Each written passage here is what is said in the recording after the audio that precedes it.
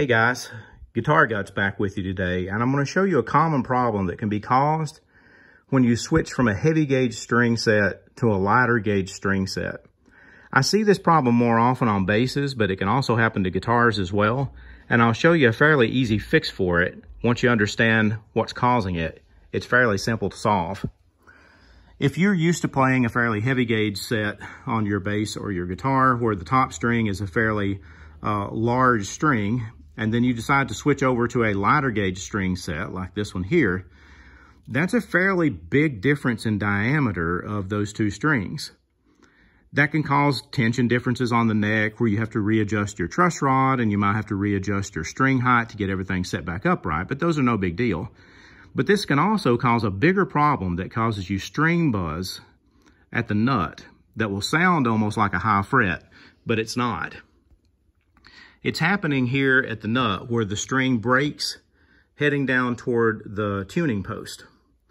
And you can see on this first string here, that's a fairly steep angle heading down from the nut toward that tuning post.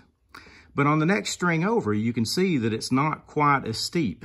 It's almost straight from the nut to the tuning post, and there's where you can run into problems.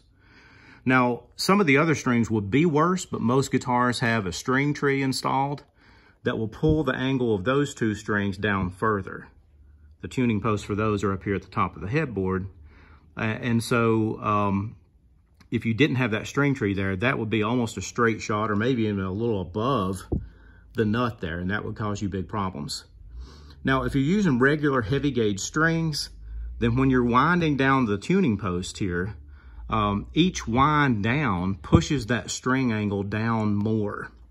Let me show you what I mean. If you're using fairly heavy gauge strings, they take up a certain amount of space. You start winding on the top and you wind your, your subsequent winds down and down again so that they're coming off the string post at the bottom of where you've wound them on and that gives you a fairly nice angle up toward the nut to hold the string down in the slot securely and not let it buzz inside the slot because it's being pulled down tight to the nut there.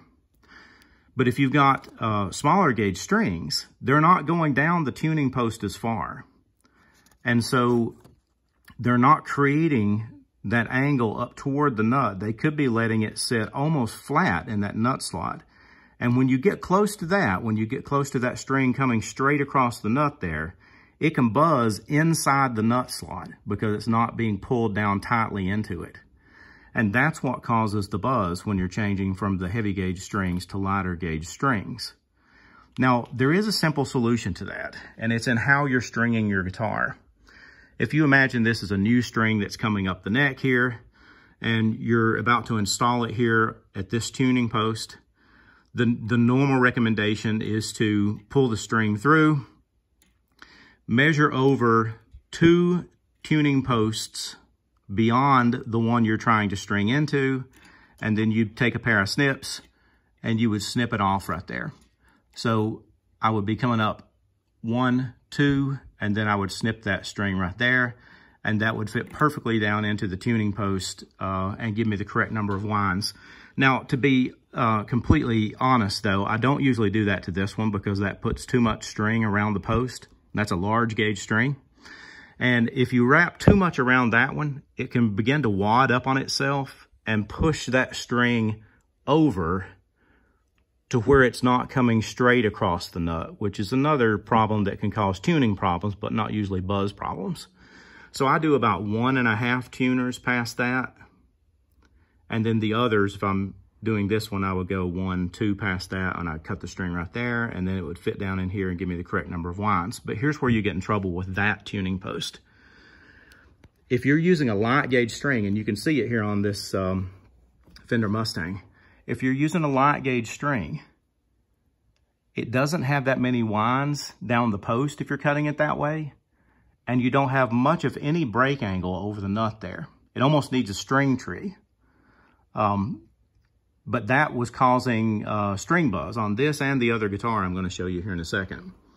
Um, and so the solution for it is not to use larger gauge strings unless you just want to. You can simply add more winds down the post. and that will push it down further, which means that instead of measuring, you know, one, two past where you're trying to string up, you might need to measure three posts past or even three and a half posts past. You can see where I've done that on the Sterling. On that first tuning post, I've got about a wine and a half and it's doing fine. Got a fairly straight string angle over the nut there. On these two where I have a string tree, I've done a, the standard measurement and have a couple of wines around the post. But on that one that doesn't have the string tree and doesn't have a good break angle, I've got about four winds around that post and that's pushing it down further. Now, you don't need to try to get it down as far as like the B or E string, whichever one's your top string. You don't need to get it down that far. It doesn't have to be that drastic of a break angle. You just need to get it down far enough to where it's being held in that nut slot firmly enough. And it didn't take much to get mine there. You can see there's a little bit of break angle heading toward that now, but I get no buzz now. Whereas one or two less winds around that post, I was getting some bad buzz on the open string there. So on this one as well, I'm gonna have to go back and um, get a slightly longer string and wind it a few down the post because I am getting some buzz from the nut there when I play that string kind of hard uh, when I don't have it fretted.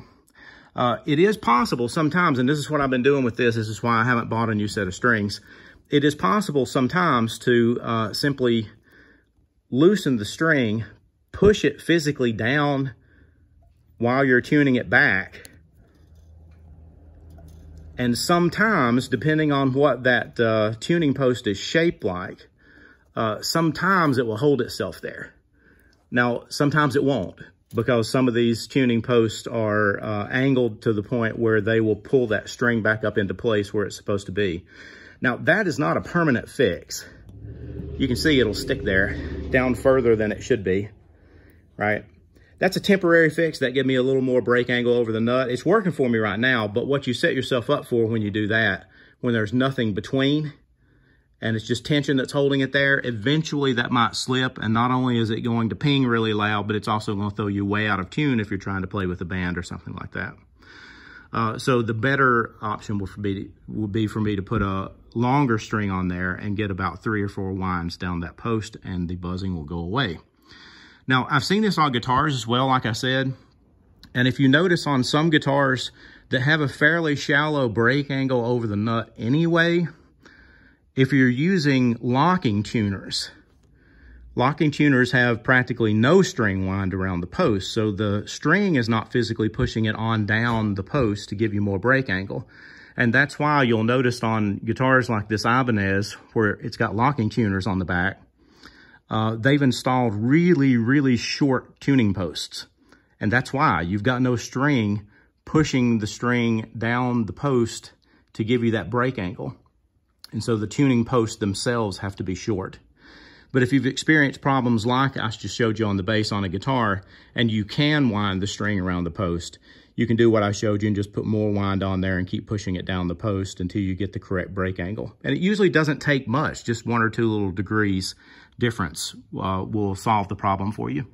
Well, I hope that helps. If you've been having that problem, hope that solved it for you. If you got any comments, uh, pop them down below and I'll be glad to read them. Talk to you later.